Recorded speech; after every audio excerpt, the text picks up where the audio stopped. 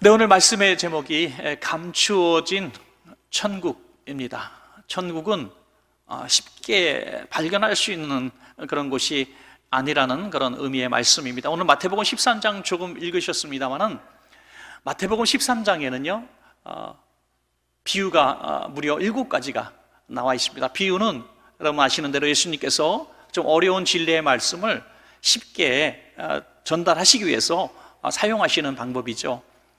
뭐 여러분들이 한번 세보겠다고 세보시면 보통 여섯 개 정도로 아, 생각하실 건데 한 비유는 불과 한 절에 불과할 정도로 짧게 또 기록되어 있어서 일곱 가지 비유가 아, 나와 있다고 볼 수가 있겠습니다. 그 비유 내용들이 하나같이 감추어진 천국에 대한 그런 말씀이라고 보면 되겠습니다.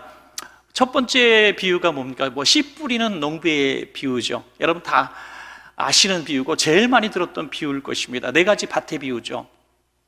농부가 씨를 이렇게 뿌리는데 네 종류의 땅에 떨어집니다. 길가에 떨어지기도 하고 돌밭에 떨어지기도 하고 또 가시밭에 떨어지기도 하고 또 잘 개간시켜 놓은 옥토 좋은 밭에 또 떨어지기도 합니다. 천국 복음의 씨죠. 이 천국 복음의 씨가 잘 자라면 하나님 나라에 들어갈 수가 있는데 문제는 이 네 가지 땅처럼 이 천국 복음을 받아들이는 사람들의 마음밭이 다 각각이라는 것이죠. 길과 같은 밭은 우리가 아무리 복음을 증거해도 그 마음이 완악하고 딱딱한 길가 같아서 복음을 받아들이지 않습니다. 아무리 아무리 복음의 씨를 뿌려도 친척이 예수를 믿고 가족이 예수를 믿고 가장 친한 친구가 예수를 믿고 그렇게 오랫동안 전도해도 마음에 그렇게 받아들이지 않습니다. 한두 번 교회를 나왔어도 복음에 대해서 거절을 합니다. 그러다 보면 복음의 씨가 계속 남아있는 것이 아니라 마귀가 새처럼 날라와서 그 머물러 있는 씨들을 다 가져가 버려서 결국에는 천국 복음의 씨를 열매 맺지 못하죠. 돌짝밭은 아주 얇은 흙이 있어서 아무리 복음의 씨를 뿌려서 뿌려도 조금 자라다가 죽고 조금 자라다가 죽고 뜨거운 태양빛에 곧 말라 죽는 신앙이 도무지 자라지 않는 신앙입니다. 이 신앙은 천국 복음까지 나갈 수가 없는 것이죠. 가시떨기 밭은 처음에는 잘 자라는 것 같습니다. 처음에 예수를 믿고 너무나 감격해서 야 정말 신앙생활이 이렇게 행복하구나 예수 믿는 것이 이렇게 즐거운 일이구나 하면서 사람이 변화되는 것 같은데 어느새 사라져 버리는 것이죠. 수많은 사람들이 과거에 교회를 다녔습니다 하면서 30년, 40년 동안 교회를 다니지 않는 그런 사람들이라고 할 수가 있겠죠. 물론 이유를 다 대고 있습니다. 그 이유가 대부분 교회 내에서 입은 상처들, 그것이 바로 가시잖아요, 가시.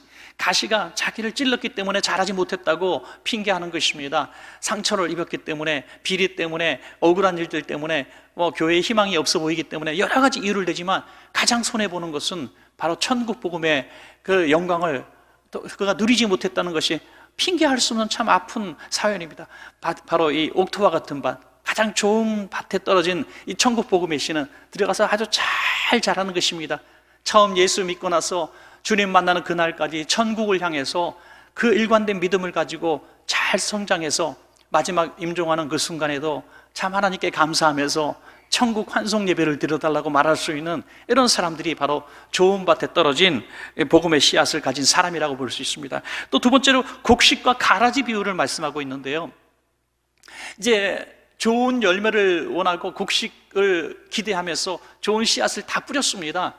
우리 교회 안에 씨앗을 뿌린 것 같이 많은 성도님들이 아름답게 잘 성장하고 서로 도와주고 합니다. 그런데 어느 날 갑자기 마귀가 와서 몰래 가라지를 뿌려놓는다는 것이죠. 가라지가 뭡니까? 곡식이 자라지 못하도록 엉켜붙어서 계속 어 이제 어 고통받게 하고 또 곡식을 열매 맺지 못하도록 이제 고통 고통을 주고 제거하게 만드는 방법이죠. 그래서 우리가 잔디라든지 뭐 이렇게 밭을 잘 예쁘게 가꾸고 또 정원을 가꿀 때 보면 원치 않는 이런 잡초들이 많이 생겨서 참 이쁘지 못하게 하는 것처럼 그렇게 가라지들이 곡식을 해친다는 겁니다. 그럼 농부들이 와서 이 가라지를 뽑으려고 하는 거죠. 가라지를 뽑으면은 곡식들이 잘 보호받을 것 같은데 이 땅의 주인이 하나님이 말씀하십니다. 야, 그 가라지 뽑다가 괜히 엄한 곡식까지 뽑을란다.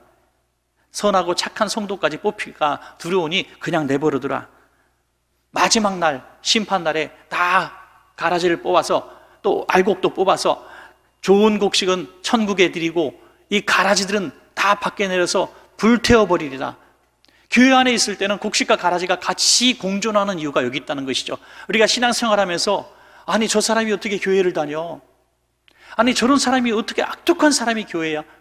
요즘에 세상에서도 어, 그런 영화라든지 그런 빗대는 얘기들을 참 많이 합니다. 교회 안에서의 가장 악한 사람들의 모습들을 그려놓기도 하고죠. 좀 뭐 극단적인 그런 비유법이기도 하지만요. 그 많이 상처를 입습니다. 우리 교인들조차 그런 마음을 가져요. 야, 교회 안에 가봤더니 별 볼 일 없더라. 여러분, 그렇습니다. 교회 안에 가면 다 천사만 있는 게 아니라 가라지도 있을 수 있다는 거죠. 언제 드러납니까? 마지막 날에, 심판 날에 교회 안에 심판이 있다는 것입니다. 그 기준이 뭐냐? 바로 하나님 나라가 기준이라는 것이죠. 하나님 나라에 들어갈 수 있는 신자는 알곡 신자요. 하나님 나라에 들어갈 수 없는 신자는 어, 또이 교인은 바로 가라지 신자라고 하는 것입니다. 참 두려운 얘기죠. 세 번째 비유는 겨자씨 비유를 말씀하죠.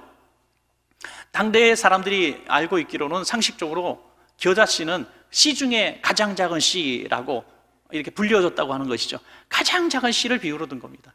그러나 이 씨가 심겨져서 자라면 겨자나무가 되죠.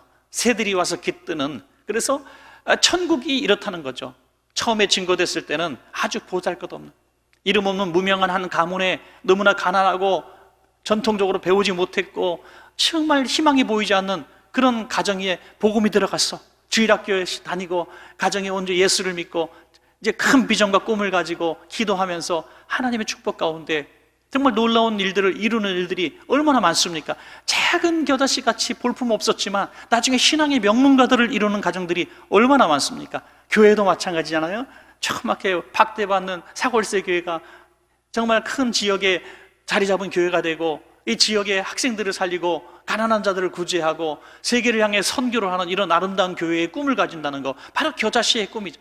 교회 이름 중에 가장 많은 이름 중에 하나가 아마도 겨자씨 교회일 겁니다. 그래서 겨자씨의 꿈을 그는 복음의 하나님 나라의 확장성에 대해서 또 어, 공공성이라 그럴까요? 거기에 대해서 말씀하는 비유라고 볼 수 있습니다. 또 누룩의 비유가 나오죠. 네 번째. 마찬가지 겨자씨와 마찬가지로 아주 적은 양의 누룩이지만은 이 누룩이 들어갔을 때 이 빵이 크게 부풀어 오르고 그 확장이 되고 또 맛도 나게 되고 하는 복음의 그런 또 하나님 나라의 커가, 커가는 위력을 말씀하고 있습니다. 그리고 이제 다섯 번째부터 어, 마지막 일곱 번째 비유가 아주 좀 비슷한 분위기로 묶어놓은 비유라고 할 수 있고요. 오늘 저와 여러분들이 함께 읽으셔서 우리가 더 중심적으로 보고자 하는 그런 비유들입니다. 다섯 번째 이 비유가 그러면 뭡니까? 바로 밭에 감추인 보아라고 하는 것이 밭에 감추인 보아. 뭐 지금은 꼭 집안에다 이렇게 귀중품을 아주 귀중한 것들을 감추기가 참 어, 어렵고 또 그럴 이유도 별로 없습니다. 얼마든지 또 우리가 어, 중요한 물건들 또 값비싼 어, 재물들을 은행에다 맡기거나 또 맡기죠. 뭐 요즘에 뭐 마늘밭에 맡기는 사람이 종종 있습니다만은 마늘밭이 아니라 보통은 뭐 이렇게 중요한 곳에 맡깁니다. 그러나 옛날에는 그런 은행이라든지 그런 맡기는 저장소가 없었기 때문에 거의 다 집에다 숨겨놓습니다.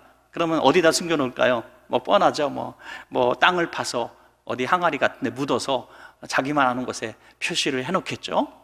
그러다가 갑자기 뭐, 어, 병으로 돌아가시거나 갑자기 뭐 어떤 국가적인 난을 만나서 어디 피난을 가거나 하면은 잊혀져 버리는 것입니다. 그러다가 어, 다른 사람들이 와서 밭을 이제 일구고 또 건축을 하다 보니까 땅을 파다 보니까 갑자기 보물이 발견되는 것이죠. 오늘 그런 일이 벌어진 것입니다. 소장농이 이 땅 주인을 땅 주인한테 이제 빌 붙어서 이제 소작을 하게 되죠. 그리고 조금만 이제 곡식 나오면 먹고 사는 이런 가난한 사람이었습니다. 어느 날 농사를 짓다 보니까 땅을 개간하다 보니까 어마어마한 보물이 나오는 거예요. 이 보물이 누구 건지요? 아무도 알 수 없습니다. 이 땅 주인 것이 아닙니다. 땅 주인이 알았으면 당연히 그 밭에 땅을 파서 보물을 가져갔겠죠, 여러분? 우리가 이 비유를 잘 이해하셔야 됩니다. 이 보물은 이 땅 주인 것이 아닙니다.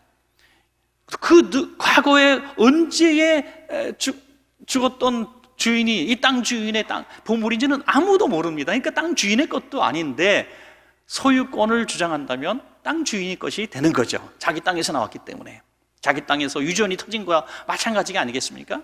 유전이 자기 건 아니었지만 땅이 자기 거잖아요. 여러분 그래서 이 소장농이 생각을 합니다. 이 땅을 사야 되겠다.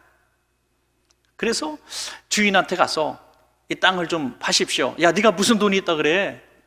내 밭에서 어, 소작을 하는 사람이 무슨 돈이 있다. 아, 그래도 제가 좀 제 땅을 갖고 좀 살고 싶습니다. 그랬더니 이것 봐라 하면서 값을 두 배, 세 배 막 부르는 거예요. 가서 자기 있는 거 다 팔고 친구들한테 빚을 내고 막 해가지고 이 땅을 결국 사고 말았다는 것이죠. 이 땅의 가치를 본 게 아니라 땅 속에 있는 보물의 가치를 보았다는 것이죠. 바로 이 보물이 뭡니까? 하나님 나라, 천국이라는 것이죠. 세상 많은 사람들이 이 하나님 나라의 문턱에서 수많은 복음의 메시지를 듣고 또 천국에 대한 이야기를 듣지만은 그들은 그것이 그렇게 소중한 줄 모르고 살아갑니다. 덮인 흙 때문에 천국을 볼 수가 없는 거예요. 그러나 그 천국을 볼 수 있는, 부활을 볼 수 있는 눈을 가진 사람만이 하나님 나라의 주인이 될 수 있다는 것입니다. 가장 귀한 것이 무엇인지 알기 때문이죠. 또 여섯 번째 뭡니까? 값진 진주를 구하는 사람의 비유가 나옵니다. 한 진주 장사가 있습니다.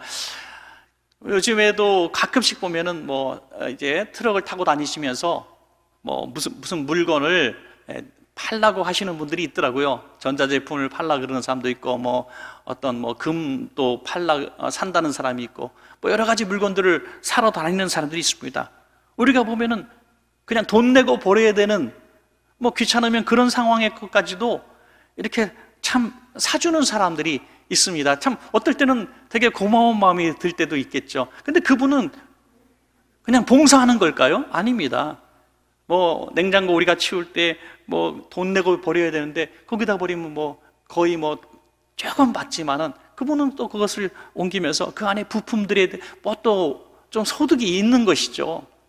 그분의 그 가치를 아는 거죠. 남들은 쓰레기라고 하는 것이지만 그 가치를 알기 때문에 그것을 구하는. 하물며 진주가 얼마나 소중한 겁니다. 당시에 값진 진주를 구하기 위해서 사람들이 굉장히 많이 먼 곳까지 왕래를 했다고 합니다. 페르시아만까지 홍해까지 가서 진주를 찾았다는 것이. 그러다 값진 진주를 만나면 가격 흥정을 해서 그것을 사갖고 오는 것입니다. 지금도 이렇게 어, 교통이 발달되고 왕래가 잦은 이 시간에도 우리가 금이 싼 나라가 있잖아요. 보석이 싼 나라가 있습니다. 지금 이 시대에도 그러면 그걸 사가, 사가지고 몰래 들어오면 뭐가 돼요? 밀수가 되는 거죠. 왜, 왜 여기서 큰 이익을 얻을 수 있기 때문에 밀수가 되는 겁니다. 여러분, 당대에는 오죽했겠냐, 그죠? 거기서 100만 원 주고 사오면 여기는 1000만 원에도 팔 수가 있는 것입니다. 그래서 그 원산지, 원산지, 보석 원산지에 가서 값진 보물들을 사서 이것이 나지 않는 곳에 가서 값비싸게 파는 이런 보석상들이 있었다는 것이죠. 그래서 이 값진 진주를 만나면 자기의 가진 모든 것들을 다 지불하고 그 진주 하나를 갖고 오는 거죠. 그 하나만 갖고 오면 정말 어, 큰 어, 어떤 이득을 취할 수가 있기 때문에 그런 거죠. 또 일곱 번째는 뭡니까? 그물을 치고 마지막 일곱 번째 물고기 잡는 어부의 비유에 대해서 나오고 있습니다. 그물을 쳐서 물고기를 가득 잡으면 물고기를 다 가져가는 것이 아닙니다.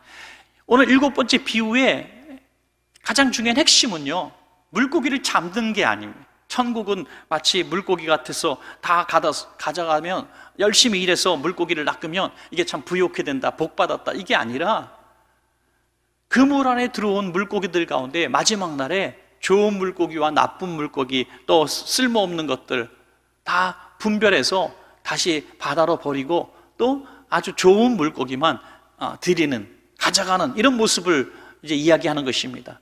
지금 그 물 안에 교회 안에 예수 믿겠다고 들어온 사람들 가운데도 역시 어, 하나님께서 귀히 여기시는 좋은 물고기와 그렇지 않은 물고기가 있다고 말씀합니다. 이게 천국의 비유죠. 아까 곡식과 가라지 비유와 아주 흡사한 비유라고 볼 수 있습니다. 자기까지 일곱 가지 비유를 드렸는데요. 자, 일곱 가지 비유를 기억하십니까? 제가 설교를 준비하면서 내가 헛수고했다라고 생각하는 순간이 이 순간입니다, 여러분. 왜냐하면 일곱 가지 비유를 다 말씀을 드렸지만 이걸 기억하는 사람이 과연 있을까? 그럼에도 불구하고 설교 분량을 채우기 위해서 열심히 설명해 드렸습니다, 여러분. 예. 저도 이제 할 도리는 해야 되니까.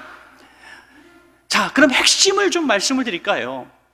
정말 중요한 얘기는 무엇인가? 이 일곱 가지 비유에 핵심이 하나 있다는 거죠. 그것은 천국은 감추어져 있다는 것이다. 감추어져 있어서 아는 사람, 그 가치를 아는 사람만이 그것을 보고 그것을 위하여 자기를 희생하고 자기 재산을 쏟고 자기의 인생을 바친다는 거죠. 그리고 이 천국의 가치를 알고 도전한 사람들은 매우 소수라는 것입니다. 지금 이 시대에도 그렇고 과거에도 그랬습니다. 하나님 나라에 대한 가치와 그 진리를 발견한 사람만이 하나님 나라의 주인공이 될 수가 있습니다. 모두가 하나님은 모두가 하나님을 믿기를 원하고 모두가 하나님 나라에 있기를 원하지만 세상에 항상 비율적으로 볼 때 항상 오늘 이 비유에서도 말씀한 거, 네 가지 밭인 것처럼 옥토는 25%밖에 되지 않아요? 최대가? 마찬가지로 천국에 입성하는 사람은 항상 소수라는 것입니다. 결코 쉬운 것이 아니에요. 그물 안에 들어온 물고기들도 교회라고 하는 바다 안에 들어온 곡식과 가라지가 섞여 있고 양과 이리가 섞여 있는 것처럼 들어와 있는 사람들 가운데서도 심판이 있다. 여러분 심판은 마지막 날의 최후의 심판은 교회 밖의 심판이 아니라 내가 믿는다고 하는 사람들 가운데 심판하셔서 천국에 드리고 또 클피 울며 이를 가는 사람들의 무리가 분별되는 구별되는 순간이 심판이에요. 믿지 않는 자들은 이미 심판을 받았죠. 심판하고 구별하시는 장면은 맨 마지막 천국 문 앞에서 이루어지는 일이라는 것입니다. 그래서 우리는 두 가지 생각을 하면서 천국을 우리가 소유해야 되는데 우리가 천국의 주인공이 되기를 원한다면 첫 번째로 생각하는 것은요, 두 가지 중에 첫 번째는 감추어진 천국을 발견한 것이 은혜라는 사실을 깨달아야 할 줄로 믿습니다, 여러분. 천국을 발견한 것이 은혜입니다. 여러분, 하나님 나라에 대해서 내가 믿어진 것이 은혜입니다. 왜냐하면 비율적으로 굉장히 적은 소수가 하나님 나라를 발견했기 때문입니다. 예수 믿게 된 것이 얼마나 큰 은혜고요. 또 예수 믿는 것도 이 건전한 복음주의를 믿게 된 것이 얼마나 감사한지, 얼마나 교회 이름 걸어놓고 이단과 사이가 얼마나 많은지 알 수 없어요. 참 우리 시골 어르신들 또 해외에서 뭐 교파 상관없이 교회 하나 딱 들어섰을 때 그냥 교회 하나니까 가다 보니까 얼마나 그것이 이단인지도 모르고 다니는 사람들이 참 많이 있는 것이 너무나 안타깝습니다. 자, 그러면 어떤 사람이 천국을 발견하는 사람일까? 천국 발견한 사람이 어떤 조건이나 어떤 공통점 여러분 보신 적 있습니까? 없다는 거예요. 아무리 아무리 생각해도 천국을 발견하고 하나님을 믿는 사람들의 어떤 공통점이라는 것은 전혀 찾아볼 수가 없어요. 극단적으로 반대죠. 가장 많이 배운 사람은 천국 발견할 수 있습니까? 지식인이니까? 논리적으로, 이성적으로 이해하고 들어옵니까? 아니죠. 또 가장 배우지 못한 사람은 막 무조건 믿습니다, 믿습니다 해서 천국을 믿습니까? 기독교인이 됩니까? 그렇지 않다는 거예요. 가장 많이 배운 사람도, 가장 배우지 못한 사람도 은혜로 천국을 발견하게 되었다. 너무 신기하지 않습니까? 그럼 돈 많은 사람이 천국을 발견합니까? 하나님을 믿습니까? 아니면 가장 가난한 사람이 의지할 데 없어 하나님을 믿습니까? 아니에요. 교회 안에 보면 가장 돈 많은 사람도 예수를 믿고 가장 가난한 사람도 예수를 믿지 않습니까? 또 비밀이고 신기하니. 그러면 착한 사람이 예수를 믿고 악한 사람은 예수 믿지 못합니까? 아니에요. 착한 사람도 예수 믿고 가장 끔찍하고 세상에 손가락질은 악행을 저지른 사람도 회개하고 예수를 믿더라 이거죠. 건강한 사람도 예수 믿고 아주 병약한 사람도 예수를 믿는 것입니다. 그러므로 우리는 이렇게밖에 얘기할 수 없어요. 예수는 믿으려고 믿는 것이 아니라 믿게 하셨기 때문에 믿는 것입니다, 여러분. 그게 은혜라는 거예요, 은혜. 내가 예수를 믿은 게 참 잘했다라고 생각하는 것보다 나를 예수 믿게 하신 하나님 앞에 우리가 감사해야 된다는 것입니다, 여러분. 예수님이 씨 뿌리는 농부의 비유를 말씀하셨을 때 제자들이 의아해하면서 예수님께 반문합니다. 예수님, 왜 자꾸 비유로 어렵게 말씀하십니까? 하나님 나라 천국에 대한 얘기를 지금 이렇게 계속 하시는 것 같은데 너무 이렇게 어렵습니다, 이야기. 그랬더니 예수님이 하신 말씀이 마태복음 13장 10절, 11절입니다. 제자들이 예수께 나와 이르되 어찌하여 그들에게 비유로 말씀하시나이까?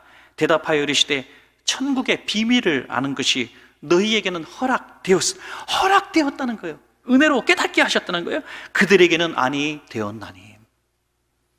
하나님 나라의 복음을 듣고 천국을 발견한 사람과 발견하지 못한 사람의 차이점은 하나님의 결정이라는 거죠. 이 생각할 때마다 참 너무 감격하게 돼요.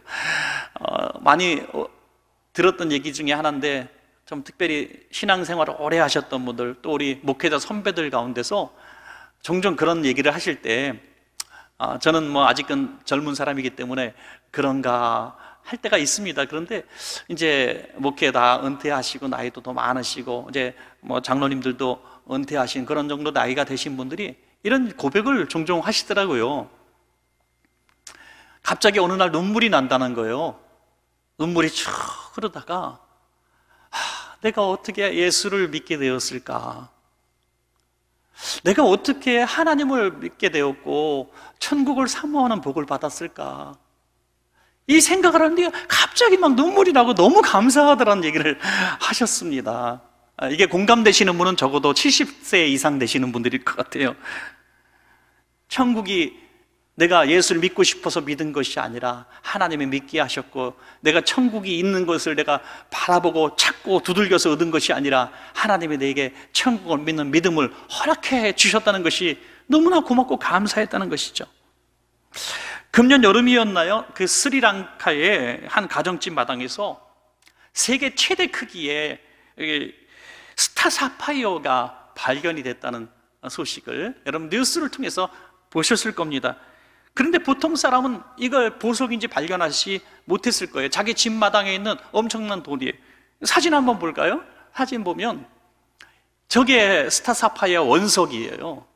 저게 누가 보석 원석이라고 생각을 하겠어요? 여러분 보실 수 있는 분들이 있습니까? 전혀 모를 거예요. 그냥 마당 파다가 우물 파다가 나온 큰 바위 덩어리에 불과한 거죠. 그런데 놀랍게도 이 집의 주인이 보석 관련 일을 했던 사람이라는 거죠. 그러니까 보석을 보는 눈이 있었던 거예요. 그래서 이거 혹시 하고 의뢰했다는 거예요. 이거 좀 알아봐달라. 그래서 뭐 전문가들이 와서 보니까 사파이어 원석이라는 거죠. 보석에 대해 상식이 없는 주인이었으면 그냥 땅속에 묻었을 거예요. 그러나 보석에 대한 상식이 있었기 때문에 이걸 보석으로 알고 이제 가치를 알게 되었다는 건데 그 금액이 조금 들으시면 배가 아플 거예요. 1200억 밖에 안 됩니다. 1200억 원 밖에 안 돼요. 뭐 조금 배가 아프죠. 여러분 마당 많이 파시기 바랍니다. 자기 집 마당에서 스리랑카 같이 가난한 나라에서 1200억짜리 사파이어 원석이 나왔으니 하루아침에 횡재한 것이죠. 만약에 이 사람이 볼 줄 모르는 사람 같았으면 그냥 쓸모없는 소리하고 길가에 버렸으면 누가 아는 사람이 횡재할 수도 있었겠죠. 얼마나 억울했을까요, 여러분? 우리에게 그 눈을 열어주신 하나님의 은혜가 너무나 놀랍지 않습니까? 1200억짜리 원석이 문제입니까?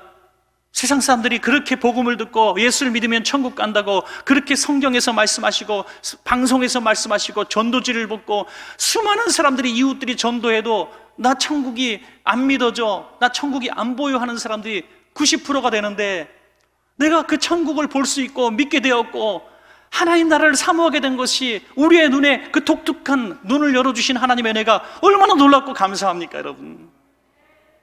1200억이 문제가 아닌 것입니다, 여러분. 그래서 하나님은 택정한 자, 구원받게 하실 자를 구원하시기 위해서 때로는 고난도 허락하시는 거예요, 고난. 고난 가운데 우리의 눈꺼풀이 벗겨지고 이 땅에 두었던 소망들이 다 사라지는 거예요. 점점 나이가 들어가시고 할 수 있는 것들이 없어지고 또 즐거운 것들, 누리고 싶은 것들이 없어질 때 우리는 하나님 나라로 더 확실한 믿음을 갖게 되기 때문에 우리 그리스도인들은 나이 들고 아무것도 할 수 없는 순간이 될 때 가장 큰 믿음의 눈을 뜨게 되는 줄로 믿습니다, 여러분. 이게 얼마나 큰 은혜인지 알 수가 없어요. 젊을 때는 띠띠고 동문서주하며 세상의 물질도 찾고 성공도 찾고 즐거움도 찾고 막 다니기 때문에 천국을 믿고 믿는다 할지라도 거기에 대한 나의 관심과 나의 눈이 그렇게 커지지 않는다는 것이죠. 그러나 천국만 보이는 순간이 온다는 거예요. 천국만. 몸이 갑자기 너무너무 아프고 희망이 없고 가정이 너무나 어려움을 당하고 경제적으로 큰 핍박과 환란을 당하고 이 땅의 소망이라고 끊겨지는 전쟁터 같은 한복판에 놓이게 되었을 때에 우리가 바라볼 것이 무엇이 있습니까? 바로 하나님 나라가 더 가까이 오는 것입니다. 김인강 교수라는 분은 참 대단한 분이죠. 이분은 두 살 때 소아마비를 앓고 또 아주 어린 어린 유년 시절은 너무나 가난해서 제대로 된 그런 휠체어라든지 시설을 살 돈이 없어서 비료 부대를 바닥에다 몸에다 붙이고 한 손으로 비료 부대를 끌고 다니면서 다녔다는 거예요. 얼마나 거지도 그런 거지가 없잖아. 너무나 불쌍한 어린 시절을 보냅니다. 초등학교 6학년 때 처음으로 목발을 짚고 한 번 일어났다고 하는 것이니 얼마나 기가 막힙니까? 대학교 다닐 때는 하도 목발을 집어서 폐에 구멍이 뚫려가지고 숨을 쉬기가 너무나 어려웠다는 것입니다. 그가 하나님을 믿게 되었지만 하나님 앞에 이렇게 울부짖었습니다. 하나님, 왜 나한테 이러십니까? 도대체 나한테 이렇게 가혹하십니까? 차라리 이러려면 이렇게 아프고 쓸모없는 인생을 살, 살겠다면 하나님 나를 데려가 주세요. 그때부터 자기를 하나님 나라로 불러달라는 기도만 하게 됩니다. 그런데 어느 날 뒤에서 누군가 찬송을 부르는데 이 찬송 소리가 하나님의 음성으로 들렸습니다. 내 모습 이대로 주 받아 주소서. 날 위해 돌아가신 주, 날 받아 주소서. 누가 그런 찬양을 불렀는데 하나님의 음성을 들렸어요. 그래서 회개가 터져 나오고 나를 이렇게 만드셨지만 이 만드신 이 몸 가지고 내가 하나님 나라를 소망하는 것처럼 나처럼 가난하고 병들고 희망 없는 인생들에게 내가 하나님 나라를 소개하는 길잡이가 되겠습니다라고 소원을 하게 됩니다. 여러분 그러고 놀라지 마십시오. 얼마나 하나님의 큰 은혜를 받았는지 그가 정말 공부를 잘하게 되었고 나중에는 카이스트와 서울대학교와 서울 고등과학원의 교수가 됩니다, 여러분. 놀라운 일을 어, 하게 되죠. 천국의 분이, 돈을 눈이 자기 인생의 모든 대부분의 관점과 관심과 또 열정이 어디로 가느냐? 하나님 나라에 가는 거예요. 하나님 나라. 왜? 그 고난이 하나님 나라에 관한 눈을 더 크게 뜨게 만들었다는 것이 바울이 마치 하나님 모를 때에 눈에 비닐이 덮여서 세상을 다 볼 수 없었지만 이제 하나님 위해 살기로 결심했을 때 눈에 비닐이 벗겨지고 새로운 눈이 열렸듯이 마시오.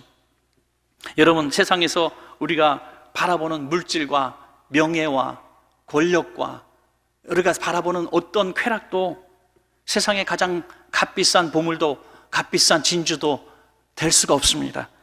천국은 마치 그러나 감추인 부와 같아서 그것을 발견하기까지는 너무나 오랜 세월이 걸릴 수도 있고 참 인생이 많은 고난도 있어야 될 줄로 압니다. 그러나 여러분, 오늘 이 자리에 계신 여러분, 천국이 하나님 나라가 세상의 어떤 물질과 권세와 내가 그렇게 바라봤던 이상과 가치보다도 가장 비교할 수 없는 소중한 것인 것을 우리가 발견한 분이 되었다면 이것이 세상 그 무엇보다 가장 큰 은혜인 것을 이 시간에 깨닫는 것이 복일 줄로 믿습니다, 여러분. 자, 마지막 두 번째는 뭡니까? 감추어진 천국에 들어가는 것이 가장 큰 복인 줄로 믿습니다, 여러분. 천국을 확인하고 이게 가장 큰 복이다라고 깨닫는 것도 중요하지만 마지막 날에 천국에 내가 들어갈 수 없으면 무슨 소용이 있는가? 일곱 가지 비유 중에 정말 많은 비유의 부분이 뭡니까? 똑같이 복음의 씨를 다 받았다는 거예요. 네 가지 밭도 똑같은 복음의 씨를 받았고 그물 안에 똑같은 물고기들이 들어갔고 또 똑같은 바단에 곡식과 가라지가 함께 자라가고 함께 이 하나님의 나라 복음에 대한 메시지를 충분히 받고 들으면서 인생을 살았다는 거예요. 그런데 마지막 순간에 들어갈 수 있는 자와 들어갈 수 없는 자가 나뉘어졌을 때 누구에게 하소하겠습니까? 마지막 날 하나님 앞에 섰을 때 하나님 나 교회 다녔어요. 나 교회 30년 다닌 사람이에요 이래봬도. 나 교회에서 봉사 많이 했어요 하나님. 나 소득의 11조 한 번도 어긴 적 없어요. 나 정말 착하게 살려고 몸부림쳤어요. 아무리 이렇게 얘기해도 난 너를 도무지 알 수 없다. 라고 말씀할 수 있는 기준이 뭡니까? 바로 하나님 나라라고 하는 것이죠. 천국의 가치 하나님 나라에 대한 가치를 아는 자는 그것을 위해서 그렇게 살아야 한다는 것입니다. 그렇게 살지 못했다는 것이죠. 천국의 가치를 안다는 것이 여러분 참 쉬운 얘기가 아닙니다. 천국을 위해서 내가 무엇까지 내놓을 수 있느냐가 천국의 가치를 말할 수 있는 사람이. 어떤 사람이 한 얘기가 참 귀에 오랫동안 남는데요. 음반을 사러 가서 그 이제 어, 뭐 가수든지 뭐 연주자든지 뭐 작곡가든지 음반을 내잖아요. 음반을 사러 가서 이런 얘기를 했대요. 뭐 되게 비싸. 무슨 뭐 음반 안에 뭐 이게 뭐, 뭐 3만 원, 7만 원 이게 말이 돼? 막 그렇게 큰 소리를 쳤대요. 그랬더니 한 사람이 옆에 있다가 점잖게 이런 얘기를 했다는 겁니다. 당신은 음반을 플라스틱 제조 단가로 생각하십니까? 라고 얘기했다는 거예요.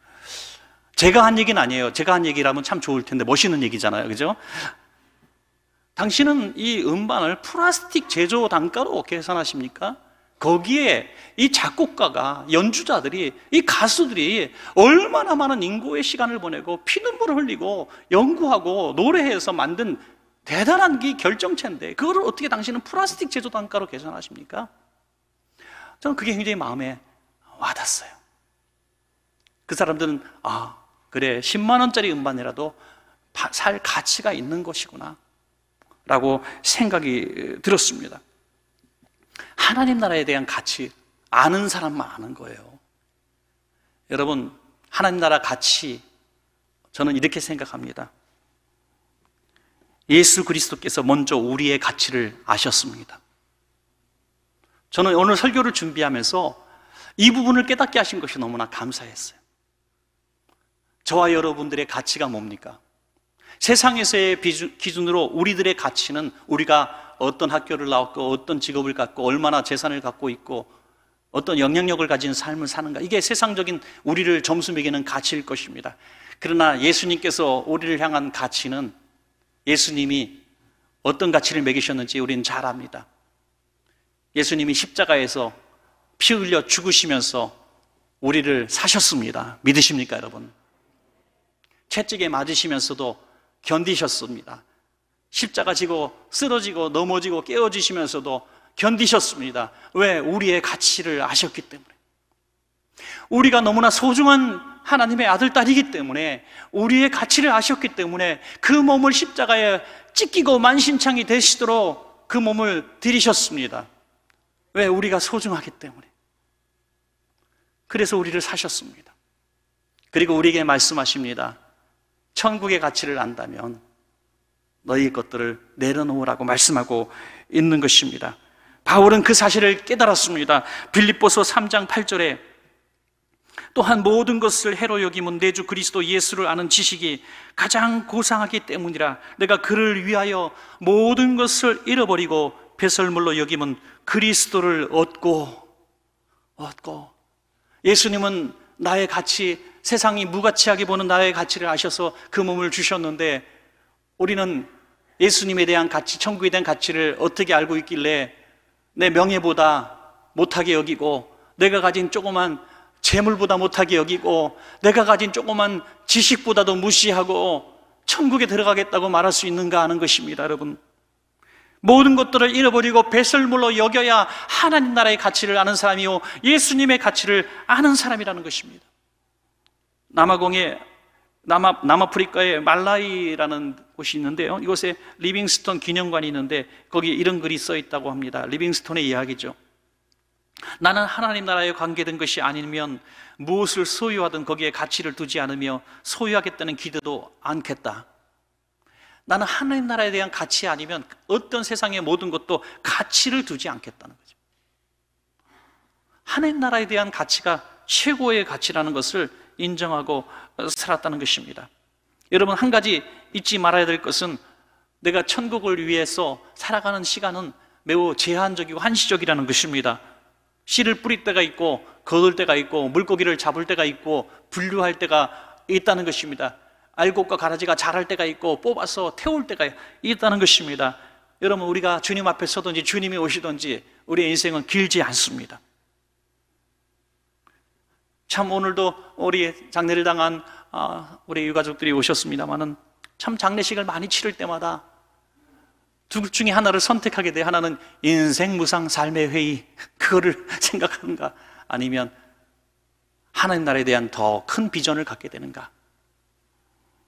저, 는이 찬양이 참 멋진 것 같아요. 천국에서 만나보자.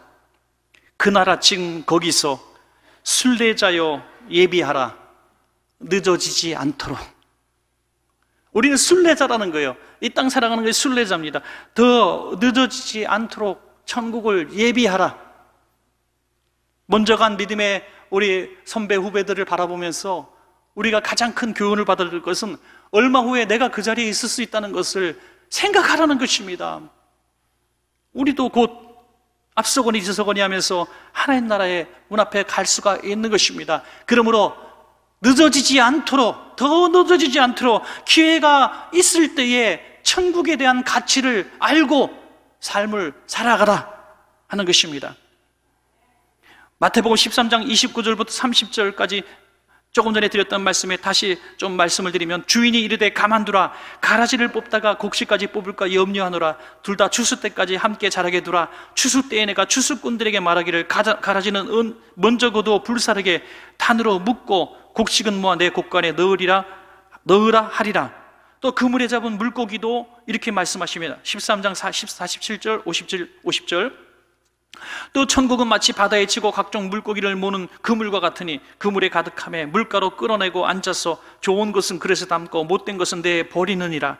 세상 끝에도 이러하리라. 천사들이 와서 의인 중에서 악인을 갈라 내어 풀무불에 던져 넣으리니 거기서 울며 이를 갈리라.